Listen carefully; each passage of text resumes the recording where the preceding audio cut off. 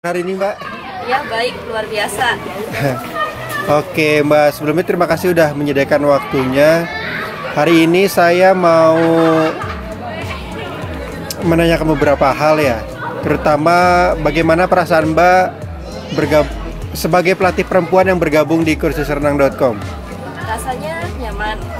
Di kursus renang saya diberi ruang dan kesempatan yang sama seperti pelatih pria. Jadi tidak ada perbedaan antara pelatih pria dengan pelatih wanita. Oke, punya pengalaman menarik ya Mbak selama di kolam renang? Ya ada ketika saya sedang melatih itu ada seorang anak kecil sedang berlari, sedang berlari kemudian dia terjatuh dan itu mengalami perdarahan yang cukup berat. Tetapi eh, pihak kolam itu tidak menyediakan peralatan P3K yang bisa digunakan.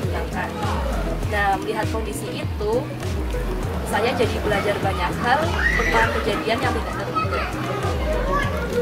Jadi saya berpikir ya, eh, apa yang akan saya lakukan ketika kejadian itu terjadi pada klien saya. Nah, di situlah saya sebagai seorang pelatih harus bisa memberikan garansi pertolongan selama di kolam.